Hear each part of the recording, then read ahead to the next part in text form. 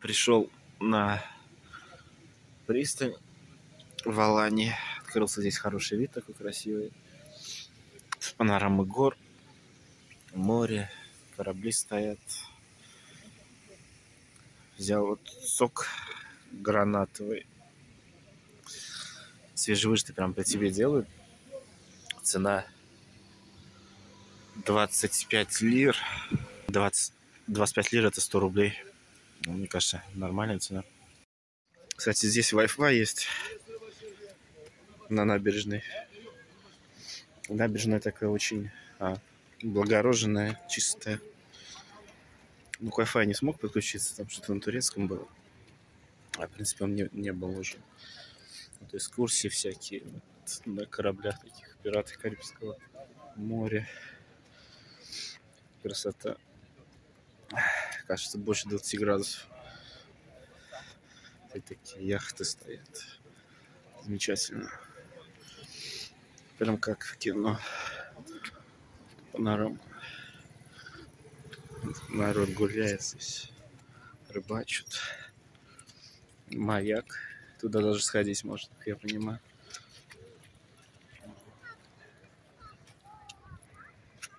Решил к маяку прогуляться.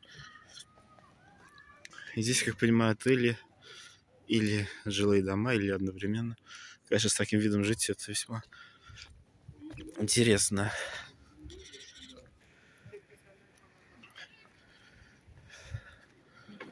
Все это такая бухта искусственная. Вот еще пирс. Пирс идет. Волны режет. Море бескрайнее. Получается, Анталия находится в бухте. Ну, красота вообще. Солнце. Особенно интересно, когда в России минус 31. Это, конечно, разница в 50 градусов. Замечательно. Кстати, еще одна особенность здесь, как я понял, в основном аптеки не работают в воскресенье. Сегодня воскресенье, и мне нужно было в аптеку. В итоге я только лишь в четвертую аптеку попал. Вот так вот.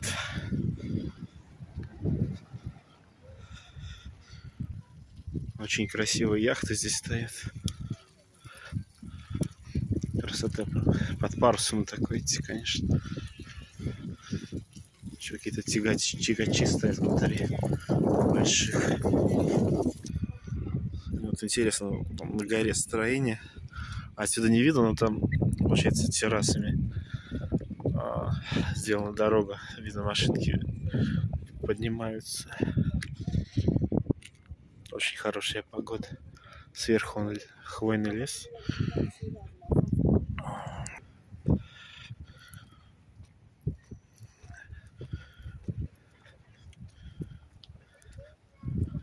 Очень, конечно, умиротворяет такой легкий бриз на море.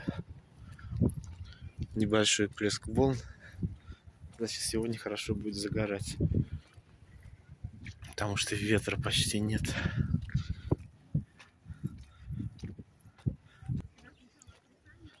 А вот и маяк. Сейчас, конечно, я думаю, не работает, потому что есть навигационные системы у кораблей.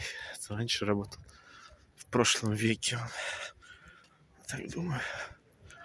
Ну или может он для красоты только лишь работает. Весь исписан.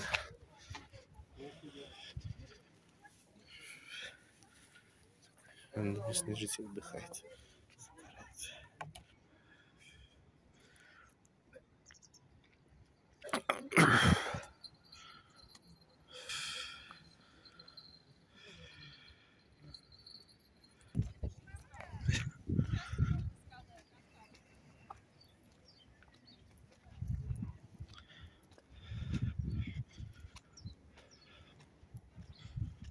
А на горе он крепость.